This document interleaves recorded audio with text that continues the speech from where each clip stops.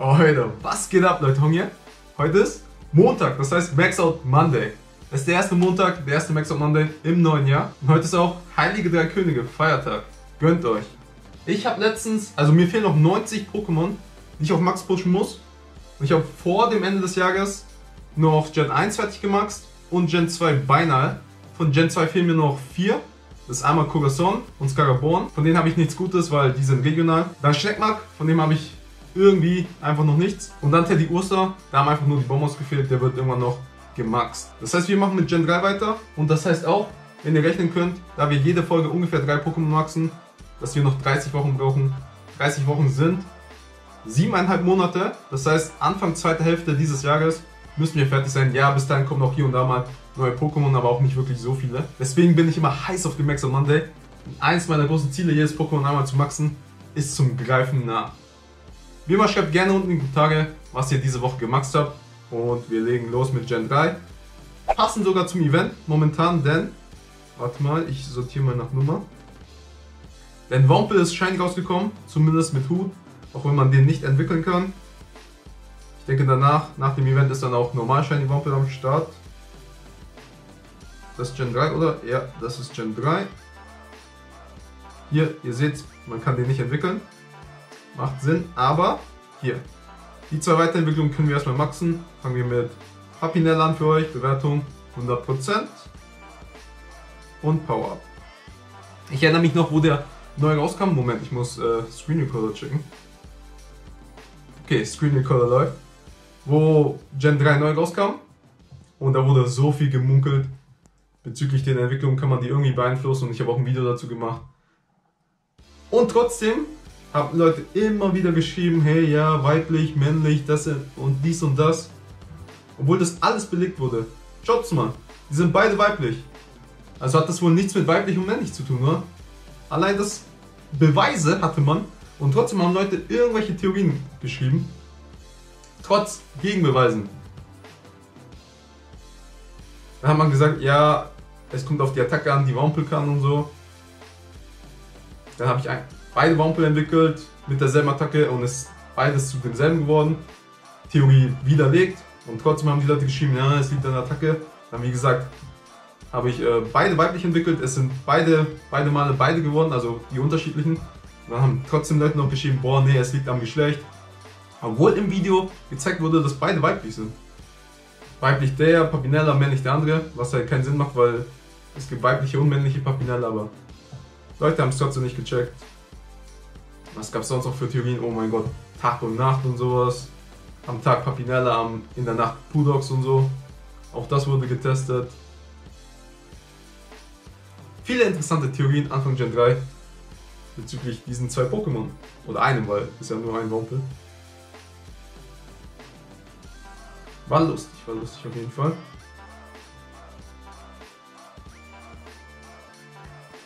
Wir haben wieder ein bisschen Staub gemacht. Momentan ist ja nicht wirklich Staub-Event, sondern nur durch Brüten gibt es doppelt Staub. Heute gab es einen fetten Staubbonus, da Venture Sync. Und mit dem Bonus hat man nochmal extra Staub bekommen. Und wenn ihr die 100 Kilometer geknackt habt und dann auch noch Sternstück gezündet habt, dann ging es ab. Es gab, glaube ich, über 90.000 Staub dann. So, Papinella auf Max. Gleich. Muss ich dann auch mal gleich mit Bibo und sowas vergleichen. Bibo aus Metbo nachdem wir Pudox gemaxt haben. Also 1765. 765, sowas gefällt mir. Dann, äh, wie heißt der Pudox? Ah, IV-Check noch schnell für euch. IV-Check haben wir noch nicht gemacht, aber ihr könnt mir vertrauen. Den haben wir ja, wie gesagt, damals in dem Video alle entwickelt.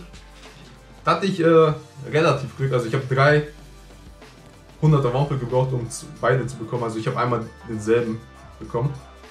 Und dann beim dritten Mal das andere und dann hatte ich beide. Aber für Shiny Familiensammler könnte das tricky werden mit, wir bräuchten ja dann fünf Minimum. Ein Shiny Wampel, Shiny Kokor, beide und dann Papinella und Ding, Bulldog Shiny. Und da, durch das entwickeln, könnte da auf jeden Fall irgendwas doppelt, dreifach unnötig vorhanden sein.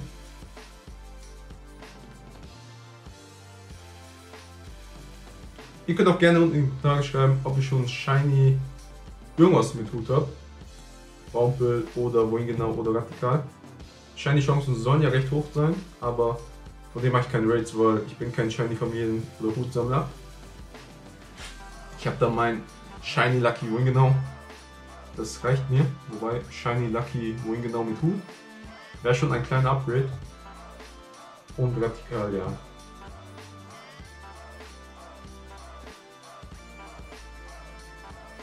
Jeden Fall, was, was hatte ich gerade gesagt? Ah ja, Event läuft. Sternstaub-Bonus, wobei das nur fürs Brüten. Aber Brüten ist halt so, dass nur zwei, viele 2 Kilometer am Start sind, weil die uns natürlich Chancen geben wollen für Shiny Wompe mit Mütze.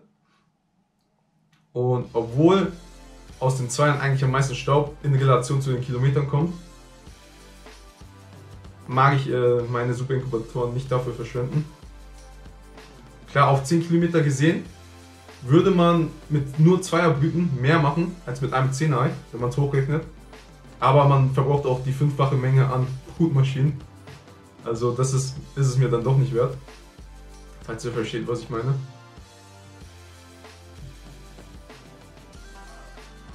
Zumindest nicht bei Doppelstaub. Ich habe es beim letzten Event gemacht, mit Dreifach, aber bei Doppel ist zu wenig. Schmeiß zwar alle 10er und 5er in Superinkubatoren jetzt. Und auch wenn es äh, relativ unregelmäßig ist und ich dadurch kein Sternstück zünde, Doppelstaub ist okay. Auch einfach so. Und es gibt ja momentan sehr, sehr gute Sachen. Ich habe ein Video dazu gemacht. Aus dem 10ern schlüpft eigentlich nur sehr saftiges, außer Barschwa, der ist leiden. Der schlüpft leider ein bisschen zu häufig, aber ansonsten sehr, sehr saftige Dinger. So Pudox extrem low. Extrem, extrem low. Was ist denn da los bei Pudox, Mann? So, Max Pudox. Tacken kümmern wir uns irgendwann mal drum. Mal hier einen Käfer. Dann sortieren wir nach WP. Ne, andersrum. So, Käfer. Shergox und Pinsy und Jan Mega natürlich. Aber. Omod 2082, mich interessieren so die Fliege-Dinger. Bibor 1846, Smetbo 1827. Sogar der hat 1815. Und dann Papinella 1765 und Pudox 1224. Was ist da los? Dann machen wir den Pokédex einfach weiter. Der ist schon gemaxt vom Quest Day. Übrigens, es wird über einen neuen Quest Day gemunkelt. Mal schauen, ob endlich mal einer kommt. War eine beliebte Reihe, war ein beliebtes Event, kann man das so nennen. Feature. Und gab schon länger nicht mehr. Bin gespannt. Wir haben den, habe ich genug Bonbons. Oh ja, 334 ist genug. Das ist ein Tengulis, heißt er so. Auf Deutsch. Den können wir hier auch noch maxen. Und dann war es das, nur noch 87. Schritt für Schritt kommen wir immer näher. Staubtechnisch, ja. Staubtechnisch habe ich natürlich nicht genug, um noch diese 87 Pokémon zu maxen. Da brauche ich ungefähr 20 Millionen, das heißt ich bin 16 Millionen irgendwas ungefähr im Minus. Die muss ich mir erst noch erfangen und erbrüten. Aber bis dann können wir auf jeden Fall noch ein paar maxen und mache ja jede Woche ein bisschen Staub. Sollte reichen, um jede Woche da meine drei Pokémon zu maxen.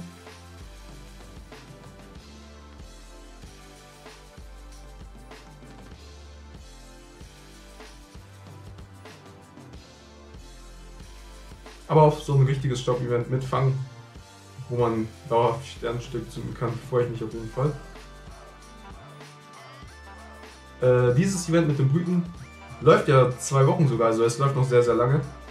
Und auch wenn man dann nur mit dem Unendlichen rumläuft und brütet, das sammelt sich auch schon an, die, vor allem in zwei Wochen, was man da alles brüten kann und wird. Da sammelt sich auch gut Staub wieder an. Also, ja, guter Schritt. Wie gesagt, 87 noch. Ja, was hatte ich gesagt? 30 Wochen, jetzt 29 Wochen noch. Also dieses Jahr, ich habe ja ein Video dazu gemacht, bisschen kontrovers, letztes Jahr von Pokémon Go, aber wir nähern uns den, dem Ende von vielen Sachen. Auch jetzt, gestern hatte mich einer angeschrieben, Grüße gehen raus an VB Munich. Mit dem war ich befreundet und er hat so geschrieben, Hong, du kannst mich löschen aus der Liste. Mache eine Pokémon Go Pause oder bin nicht mehr aktiv. Pause. Man weiß ja nicht, ob er komplett aufhört. Er weiß es ja selber nicht. Auf jeden Fall momentan keine Lust. Und ja, sehr schade. Bei vielen Leuten ist es so, viele in meiner Liste, zuletzt vor zwei Tagen online, dies, das, nicht mehr regelmäßig am Aufmachen. So ist das Spiel, so ist das Leben.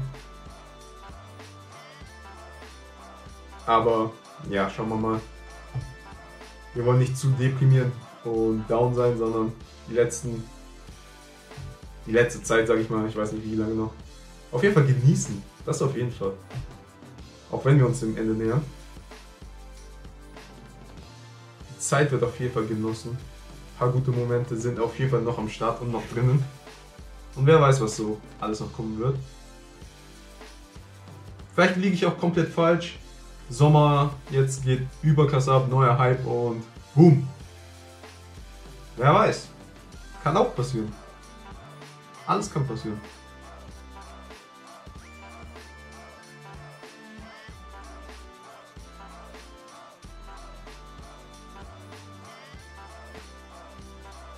Habe ich einen V-Check gemacht für euch? Ja, ich glaube schon. Habe ich gemacht.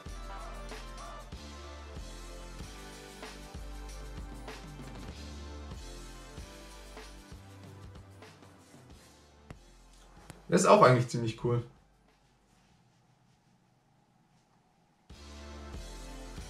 Auch eine verrückte Kombination Pflanze und Licht. Ihr merkt, ich, äh, oh, wir gehen, ja, wir haben schon einen relativ guten Stoffverbrauch. Drei Pokémon gemaxt, wir hatten 3,6 ungefähr. Ja, 100 irgendwas pro Pokémon, fast 200.000 pro Pokémon. Und ich habe auch mit ungefähr 200.000 pro Pokémon gerechnet. Deswegen bin ich so auf die ungefähr 20 Millionen gekommen. Wird aber wahrscheinlich ein bisschen weniger sein, weil jetzt kommen dann auch noch von Gen 4, Gen 5 viele Lucky Pokémon, wo ich nicht 100 habe, sondern nur Lucky 98 und sowas. 100 da fehlen mir noch 55 normale und 19 legendäre. Falls es jemand interessiert. Wobei, ich glaube 21, weil ich habe die Deoxys-Form nicht mitgezählt, glaube ich. Von denen habe ich, wow, keine Ahnung, 23. Also, schauen wir mal. Auf jeden Fall Max-Ding. 100er Tango-List. Okay, das war's von mir, Leute, und dem Max of Monday. Der erste in diesem Jahr. Passend zum Event. Pudox und Papinella und dann einfach die Pokédex abgearbeitet. Es fehlen noch 87 Pokémon auf Max für das große Ziel. Das war's von mir, Leute. Ihr wisst Bescheid, wie man liken, subscriben, kommentieren. Checkt die Videos ab, folgt mir auf Instagram, Facebook, Twitter. Checkt den Shop ab. Vergesst nicht, Pokémon ist Business.